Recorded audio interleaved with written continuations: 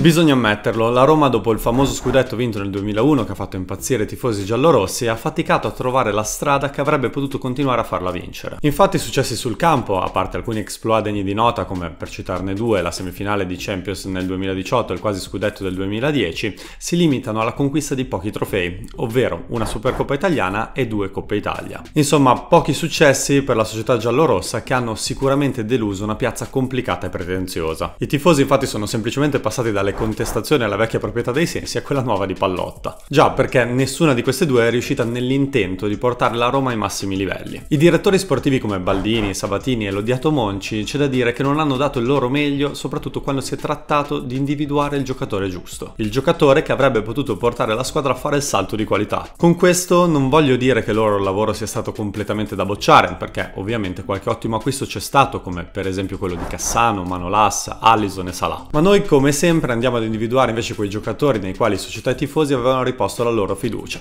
affinché riportassero la Roma a vincere qualcosa, e che invece hanno deluso pesantemente le aspettative. Come abbiamo ormai capito nessuna squadra è esente da commettere questo tipo di errori, e i giocatori sono tanti da elencare e quasi impossibile ricordarli tutti. Andiamo in ordine cronologico dagli anni 2000 fino ad arrivare ai nostri giorni. Stagione 2004-2005 la Roma era molto vicina all'acquisto di un certo Ibrahimovic, giocatore dell'Ajax. La Juventus invece stava per concludere il trasferimento di Mido, attaccante egiziano del Marsiglia che aveva giocato proprio con Zlatan in Olanda, formando una coppia formidabile. Lo stesso giocatore dichiarerà che era tutto fatto, ma il destino e soprattutto Moggi e Raiola cambiarono le carte in gioco. Ibrahimovic infatti finirà alla Juventus e Mido alla Roma per 6 milioni di euro. In Olanda, nonostante le buone prestazioni, quest'ultimo era ricordato per le gare clandestine con lo svedese e le notti passate al night. Proprio con Ibra formava una coppia incredibile dentro e fuori dal campo. Una coppia che però scoppiò presto perché dopo una sconfitta Mido confrontandosi scontrarsi proprio con il suo compagno di serate, in preda alla rabbia prova a scagliargli addosso un paio di forbici. Zlatan in recenti interviste dichiarò Mido stava per uccidermi. L'ex attaccante egiziano ancora oggi se gli domandano spiegazioni risponde così. I was just I was sure that this wouldn't kill Zlatan. Caesar wouldn't kill Zlatan. Zlatan would break the season. Beh, a Roma c'è da dire che non c'è stato nessun tentativo di omicidio, ma metti la nostalgia di caso, la poca dedizione agli allenamenti, conclude l'annata con 13 presenze e 0 reti. Da lì continua il declino della sua carriera da giocatore. Solo negli ultimi anni è tornato a far parlare di sé per essersi rimesso in forma dopo aver raggiunto i 150 kg, riportando a galla ricordi non piacevoli per i tifosi giallorossi. Annata 2008-2009 arriva dal Real Madrid Giulio Battista, attaccante che non aveva convinto le merengues. Arriva per circa 10 milioni di euro e conferma la sua fama. Parte bene, anzi benissimo. Il cross di Mexes, Giulio Battista mette giù, Giulio Battista, rete! Roma in vantaggio con la rovesciata di Giulio Battista! Ma finisce sempre male, anzi malissimo.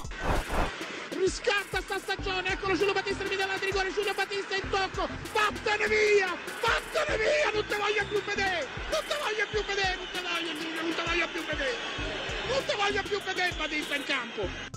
La sua storia insegna che dopo un buon periodo iniziale si perde completamente. È discontinuo e infatti dopo una prima stagione da 12 reti completa la seconda con 32 presenze e 4 marcature, per poi essere ceduto nell'annata successiva. A Roma ancora oggi si chiedono cosa gli sia accaduto. Nella stagione 2011-2012 la società giallorossa dà il meglio di sé. Arriva sulla panchina Luis Enrique che non si rende conto che in Italia non è il caso di replicare il gioco del Barcellona, soprattutto se non hai certi interpreti. Infatti proprio per le sue esigenze viene acquistato Bojan per 12 milioni di euro. Arriva con una formula che prevedeva il riscatto del Barcellona a fine stagione se la Roma non avesse optato per acquistarlo ad un totale di 40 milioni di euro. Colui che doveva sostituire Messi arriva nella capitale con grandi aspettative, anzi troppe. Già perché il giocatore non reggerà questa pressione, contando anche la difficoltà della squadra. Lo stesso dichiarò, alla Roma volevano il nuovo Messi e questo non mi ha aiutato. Da lì infatti si perde completamente e dopo un prestito al Milan cambia diverse squadre giocando poco. Nello stesso anno arriva José Angel dalla Liga per 4 4,5 milioni di euro. Terzino sinistro che doveva prendere parte alle azioni offensive stile Barcellona che Luis Enrique voleva replicare. Rimane una stagione con 31 presenze e una miriade di prestazioni negative. Probabilmente troppo intento a giocare alla PlayStation con vestiti di dubbia classe come da lui mostrato su Twitter, viene ceduto quindi a fine anno. Stessa annata viene acquistato Stekelenburg per 7 milioni di euro, portiere olandese. La sua prima stagione non fu molto emozionante con 45 gol subiti in 33 presenze, ma i numeri non sono tutto e infatti è giusto ricordare anche la sua insicurezza e lentezza tra i pali.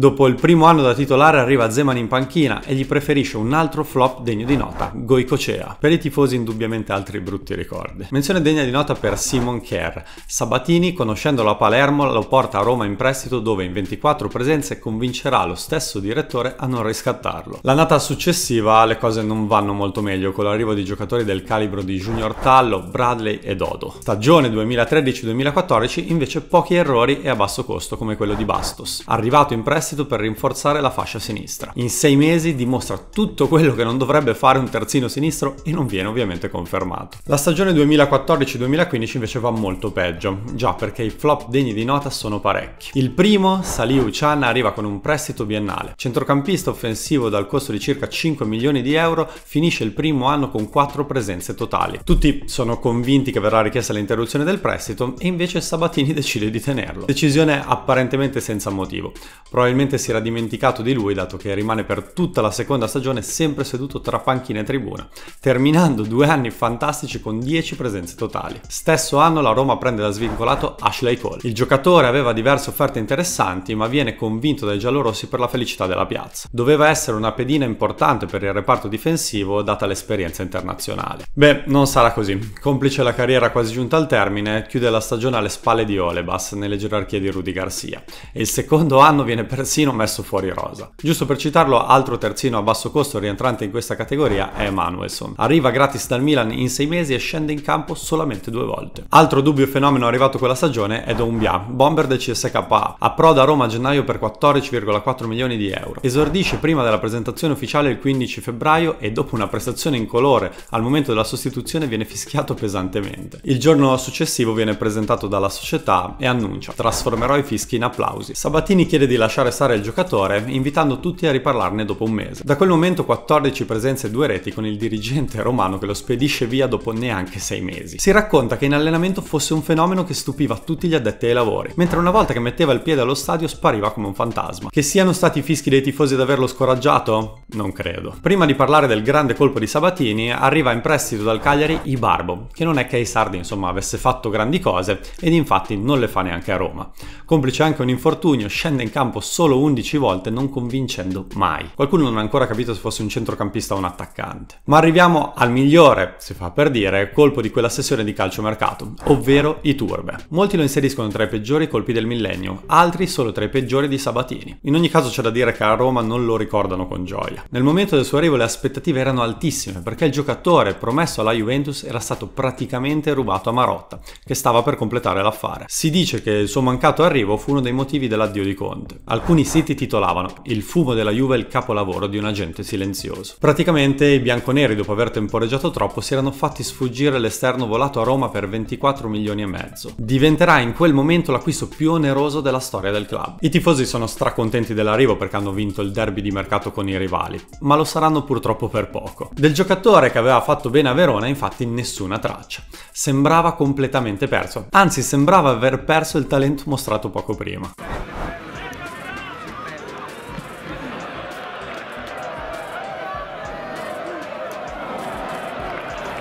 Dopo un primo anno al di sotto delle aspettative, Sabatini però vuole assolutamente che rimanga. Confida in lui e soprattutto spera in qualche miracolo che gli confermi che ha scelto il giocatore giusto. Dopo sei mesi e tentativi falliti di inserirlo in partita, anche il dirigente giallorosso si convince a mandarlo in prestito in Inghilterra. Torna a Roma dopo sei mesi in colori in Premier e passa altri sei mesi nella capitale guadagnando pochi minuti in campionato. Da lì al Torino in prestito e poi per disperazione ceduto al club Tijuana per circa 5 milioni di euro. Ah, piccola nota margine, non farà benissimo neanche lì. Llega Omar, llegan los grandotes, está el dedos, el toque de Honda, viene el rechace, puede salir Cholos, no hay arquero, Blanco a toda velocidad, sigue con ella, viene Iturbe, sigue Iturbe, sigue Iturbe, le va a meter Iturbe, la mete Iturbe, la falló, la tenía,